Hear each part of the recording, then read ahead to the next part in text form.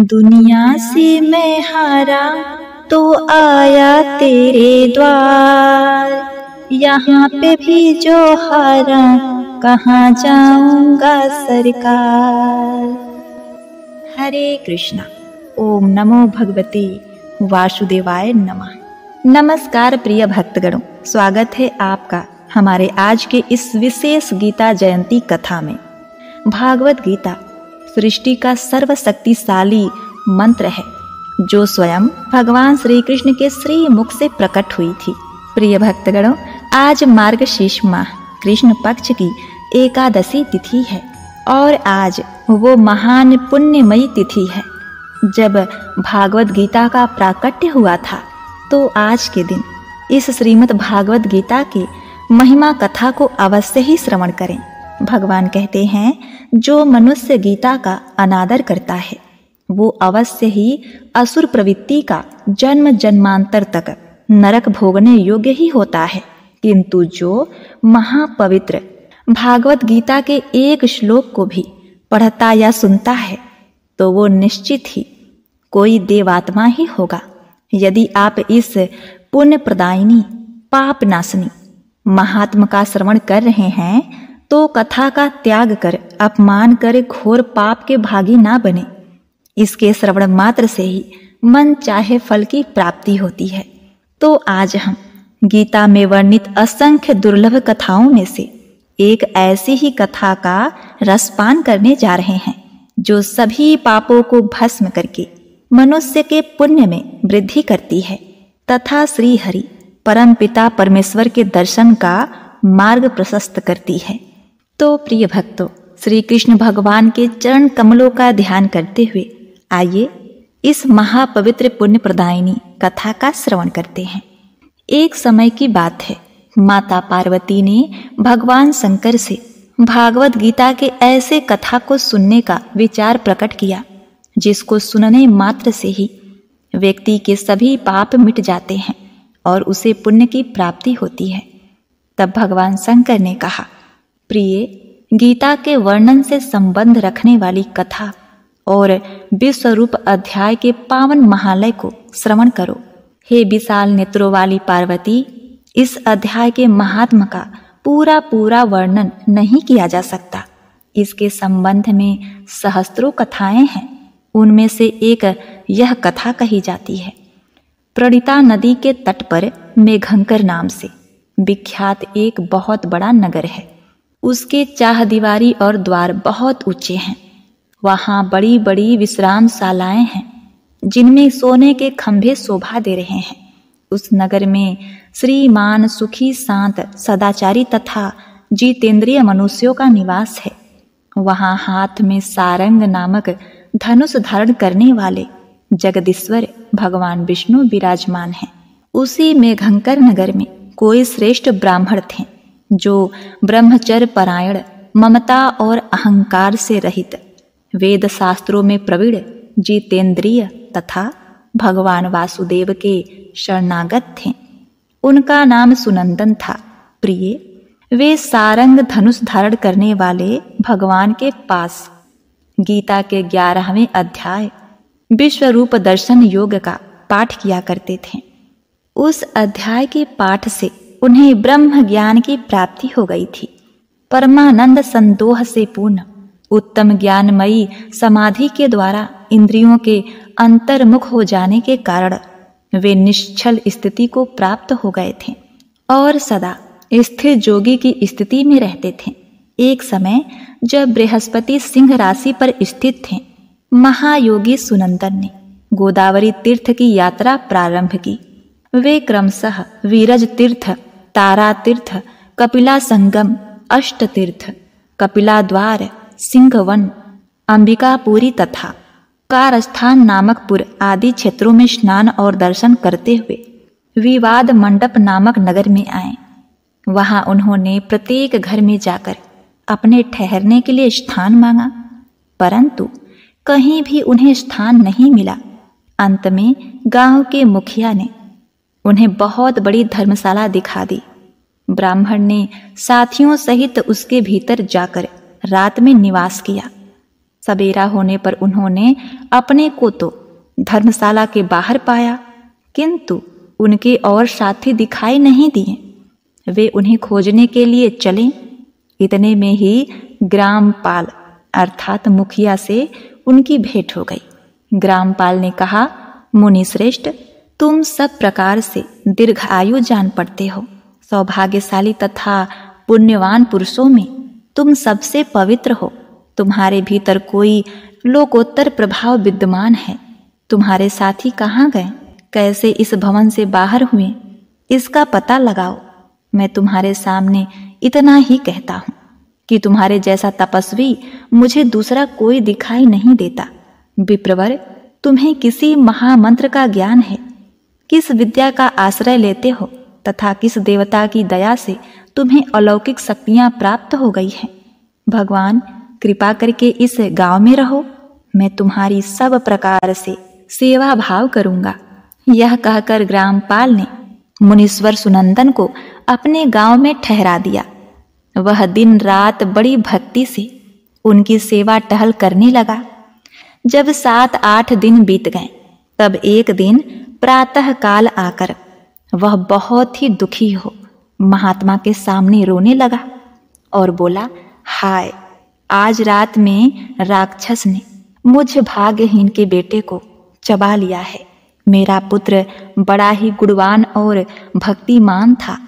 ग्रामपाल के इस प्रकार कहने पर योगी सुनंदन ने पूछा, कहाँ है वह राक्षस? और किस प्रकार उसने तुम्हारे पुत्र का भक्षण किया है? ग्रामपाल बोला, ब्राह्मण, इस नगर में एक बड़ा भयंकर नरभक्षी राक्षस रहता है। वह प्रतिदिन आकर इस नगर में मनुष्यों को खा लिया करता था। तब एक दिन समस्त नगरवासियों ने मिलकर उससे प्रार्थना की कि, राक्षस, तुम हम सब लोगों की रक्षा करो। हम तुम्हारे लिए भोजन की व्यवस्था किए देते हैं। यहाँ बाहर के जो पथिक रात में आकर नींद लेंगे उनको खा जाना। इस प्रकार नागरिक मनुष्यों ने गाँव के मुखिया द्वारा इस धर्मशाला में भेजे हुए पथिकों को ही राक्षस का आहार निश्चित कर दिया।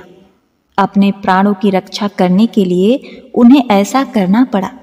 आप भी अन्य राहगीरों के साथ इस घर में आकर सोए थे, किंतु राक्षस ने उन सबको खा लिया, केवल तुम्हें छोड़ दिया। हे महामुनि तुम में ऐसा क्या प्रभाव है? इस बात को तुम ही जानते हो। इस समय मेरे पुत्र का एक मित्र आया था, किंतु मैं उसे पहचान न सका। वह मेरे पुत्र को बहुत ही प्रिय था, किंतु अन्य राहगीरों के साथ उसे भी मैंने उसी धर्मशाला में भेज दिया। मेरे पुत्र ने जब सुना कि मेरा मित्र भी उसमें प्रवेश कर गया है, तब वह उसे वहाँ से ले जाने के लिए गया। परंतु राक्षस ने उसे भी खा लिया। आज सवेरे मैंने बहुत दुखी होकर उस पिचास से पूछा, ओ दुष्ट आत्मन, तुमने रात में मेरे पुत्र को भी खा लिया? तेरे पेट में पड़ा हुआ मेरा पुत्र जिससे जीवित हो सके, ऐसा कोई उपाय यदि हो तो बता। राक्षस ने कहा, ग्रामपाल, धर्मशाला के भीतर घुसे हुए तुम्हारे पुत्र को न जानने के कारण मैंने भक्षण कर लिया है। अन्य पथिकों के साथ तुम्हारा पुत्र भी अनजाने में ही मेरा ग्रास बन गया है। वह मेरे उदर में जिस प्रकार जीवित और सुरक्षित रह सकता है, वह उपाय स्वयं विधाता ने ही कर दिया है। जो ब्राह्मण सदा गीता के ग्यारहवें अध्याय का पाठ करता हो, उसके प्रभाव से मेरी मुक्ति होगी और मरे हुओं को पुनः जीवन प्राप्त होगा। यहाँ कोई ब्राह्मण रहते हैं, जिसको मैंने एक दिन धर्मशाला से बाहर कर दिया था। वे निरंतर गीता के ग्यारहवें अध्याय का जप किया करते हैं। इस अध्याय के मंत्र से सात बार अभिमंत्रित करके यदि मेरे ऊपर जल का छीटा दे दो तो निसंदेह मेरा श्राप से उद्धार हो जाएगा। इस प्रकार से उस राक्षस का संदेश पाकर मैं तुम्हारे निकट आया हूँ। ग्रामपाल बोला, ब्राह्मण, पहले इस गाँव में कोई किसान ब्राह्मण रहता था। एक दिन वह अगहनी के खेत की क्यारियों की रक्षा करने में लगा था। वहाँ से थोड़ी ही दूर पर एक बहुत बड़ा गिद्ध किसी राहगीर को मारकर खा रहा था। उसी समय एक तपस्वी कहीं से आ निकले, जो उस राहगीर के लिए दूर से ही दया दिखाते आ रहे थे। गिद्ध उस राहगीर को खाकर आकाश में उड़ गया। तब उस तपस्वी ने उस किसान से कहा, ओ दुष्ट हलवाहे, तुझे धिक्कार है। तू बड़ा ही कठोर और निर्दयी है।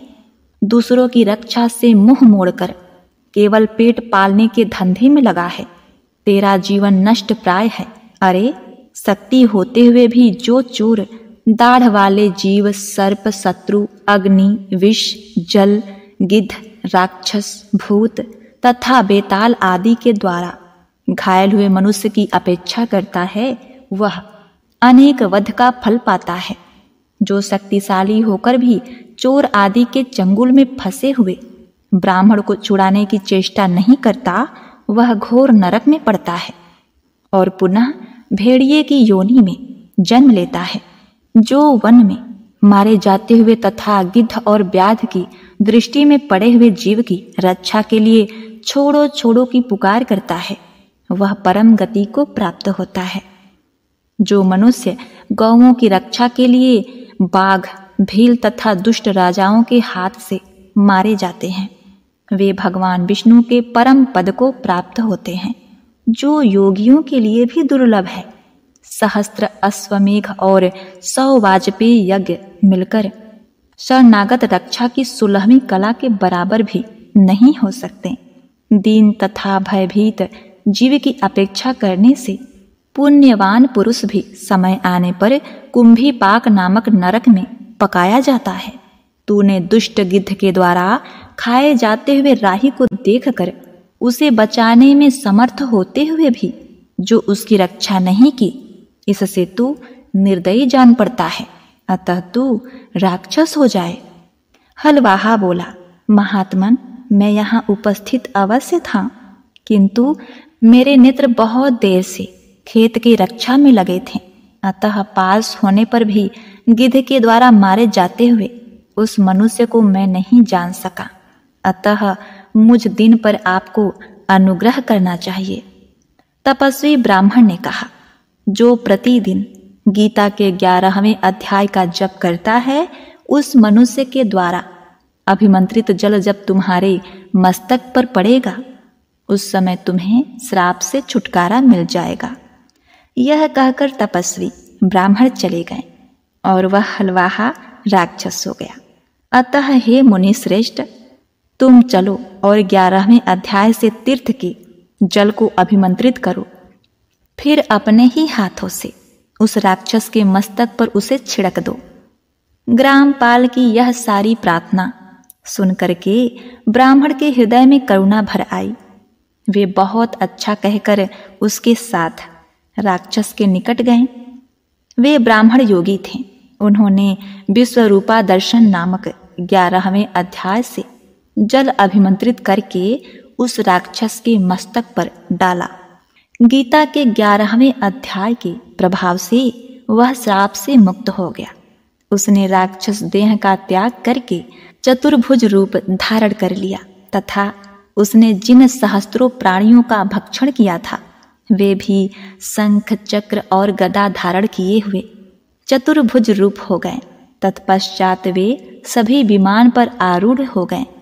इतने में ही ग्रामपाल ने राक्षस से कहा, निशाचर, मेरा पुत्र कौन है? उसे दिखाओ। उसके योग कहने पर दिव्य बुद्धि वाले राक्षस ने कहा, ये जो तमाल के समान श्याम चार भुजाधारी माणिक्यमय मुकुट से सुशोभित तथा दिव्य मणियों के बने हुए कुंडलों से अलंकृत है, हार पहनने के कारण जिनके कंधे मनोहर प्रतीत होते हैं, जो सोने के भुजाबंदों से विभूषित कमल के समान नेत्रों वाले गंध रूप तथा हाथ में कमल लिए हुए हैं। और दिव्य विमान पर बैठकर देवत्व के प्राप्त हो चुके हैं। उन्हीं को अपना पुत्र समझो। यह सुनकर ग्रामपाल ने उसी रूप में अपने पुत्र को देखा और उसे अपने घर ले जाना चाहा। यह देखकर उसका पुत्र हंस पड़ा और इस प्रकार कहने लगा, पुत्र बोला, ग्रामपाल, कई बार तुम मेरे पुत्र हो चुके हो। पहले मैं तुम्हारा पुत्र था, किंतु अब देवता हो गया हूँ। इस ब्राह्मण देवता के प्रसाद से बैकुंठ धाम को जाऊँगा। देखो, यह निश्चाचर भी चतुर्भुज रूप को प्राप्त हो गया। ग्यारहवें अध्याय के महात्म से यह सब लोगों के साथ विष्णु धाम को जा रहा है। अतः तुम भी इन ब्राह्मण देव से गीता के ग्यारहवें अध्याय का अध्ययन करो और निरंतर इसका जप करते रहो। इसमें संदेह नहीं कि तुम्हारी भी ऐसी ही उत्तम गति होगी। मनुष्यों के लिए साधु, पुरुषों का संग सर्वथा दुर्लभ है। वह भी इस समय तुम्हें प्राप्त है। अतः अपना अभिष्ट सिद्ध करो। धन, भोग, दान, यज्ञ, तपस्या और पूर्व कर्मों से क्या लेना है? विश्वरूपा अध्याय के पाठ से ही परम कल्याण की प्राप्ति हो जाती है। पूर्णानंद संदोह स्वरूप श्री कृष्ण नामक ब्रह्म के मुख से कुरुक्षेत्र में अपने मित्र अर्जुन के प्रति जो अमृतमय उपदेश निकला था, वही श्री विष्णु का परम तात्विक रूप है। तुम उसी का चिंतन करो। वह मोक्ष के लिए प्रसिद्ध रसायन, संसार भय से डरे हुए मनुष्यों की आधी व्याधि का विनाश तथा अनेक जन्म के दुखों का नाश करने वाला है। मैं उसके सिवा दूसरे किसी साधन को ऐसा नहीं देखता। अतः उसी का अभ्यास करो। श्री महादेव पार्वती जी से कहते हैं, यह कहकर वह सबके साथ श्री विष्णु के परम धाम को चला गया। तब ग्रामपाल ने ब्राह्मण के मुख से उस अध्याय को पढ़ा, फिर वे दोनों ही उसके महात्म से विष्णु धाम को चले गए। पार्वती, इस प्रकार तुम्हें ग्यारहवें अध्याय के महात्म की कथा सुनाई है। इसके श्रवण मात्र से महान पापों का नाश हो जाता है।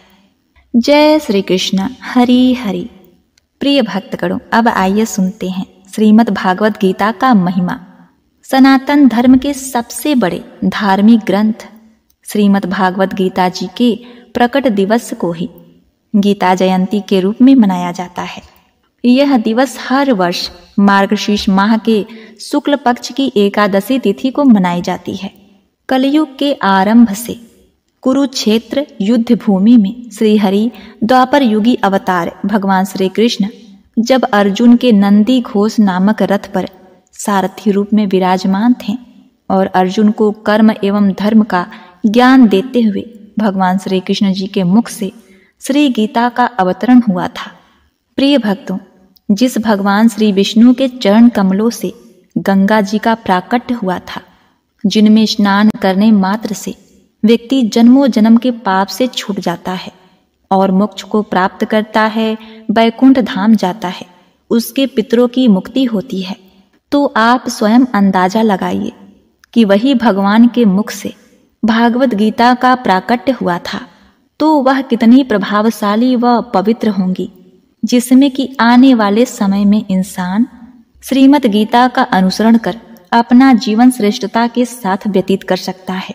जब अर्जुन ने अपने सगे संबंधी को युद्ध क्षेत्र में अपने सम्मुख देखकर युद्ध करने से इनकार कर दिया था, तब श्री कृष्ण समय के चक्र को कुछ समय के लिए रोक देते हैं तथा अर्जुन को कर्म व धर्म का ज्ञान देने के लिए, श्री गीता का ज्ञान देते हैं।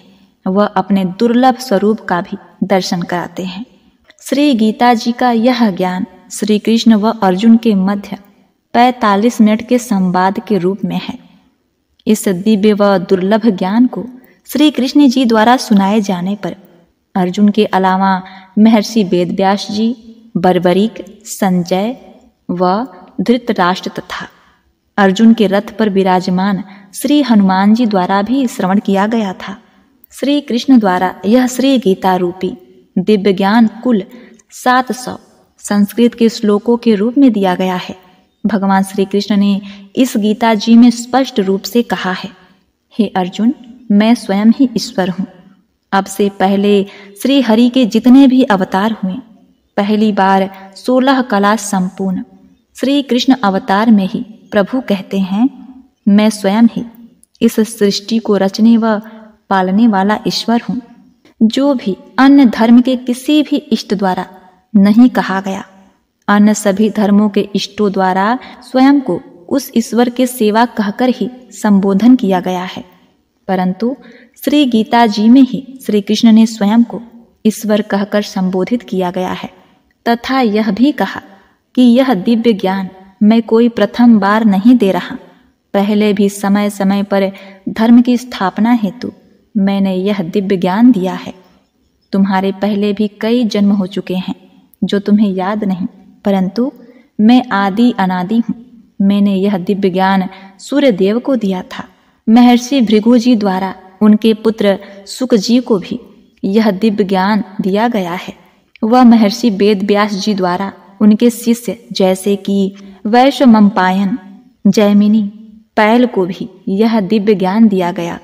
तथा तथा यहीं से ही यह ज्ञान प्रसारित होते होते आज कई प्रकाशनों द्वारा प्रकाशित की जाती है। यह दिव्य ज्ञान कुरुक्षेत्र में ज्योतिषर नामक एक छोटे से गाँव में, एक प्राचीन व विशाल बरगद का वृक्ष है तथा साथ में एक तालाब भी है। यही यह प्राचीन स्थान है जहाँ भगवान श्री कृष्ण ने अर्जुन को गीता का उपदेश दिया था। भागवत गीता को गणेश जी द्वारा लिखने के पीछे एक कहानी है। आइए अब उसे भी सुनते हैं। महर्षि वेद व्यास ने भागवत गीता को अंतर मन से रच लिया था, परंतु उनके सामने गंभीर समस्या थी कि वह इसे लिखना चाहते थे। उन्हें ऐसे विद्वान की आवश्यकता थी कि वह भागवत का उच्चारण करते जाएँ और विद्वान द्वारा लेखन का कार्य बिना किसी त्रुटि से करें। इस समस्या का समाधान पाने के लिए महर्षि व्यास जी ने ब्रह्मा जी के समक्ष अपनी समस्या को रखा।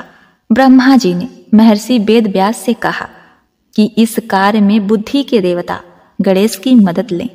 व्यास जी गणेश जी के पास पहुँचे और उन्होंने अपनी बात रखी। गणेश जी महर्षि व्यास जी की परेशानी को सुनकर महाभारत काव्य को भी लिखने के लिए राज़ी हो गए। उन्होंने एक शर्त रखी कि एक बार कलम उठा लेने के बाद काव्य समाप्त होने तक वह बीच में नहीं रुकेंगे। महर्षि वेद व्यास जी गणेश जी की बुद्धिमत्ता को समझ गए कि यदि वह शर्त मान लेते हैं तो उन्हें बहुत सी कठिनाइयों का सामना करना पड़ेगा। उन्हें बिना किसी विश्राम के निरंतर महाभारत का वाचन करना पड़ेगा। इसीलिए महर्षि वेद व्यास जी ने भी गणेश जी के समक्ष एक शर्त रख ली कि हर श्लोक लिखने के बाद गणेश जी को उसका अर्थ समझाना होगा। इस शर्त को सुनकर गणेश जी ने महर्षि वेद व्यास की शर्तों को मान लिया। इस प्रकार महर्षि वेद व्यास वाचन करते और गणेश जी लेखन का कार्य करते।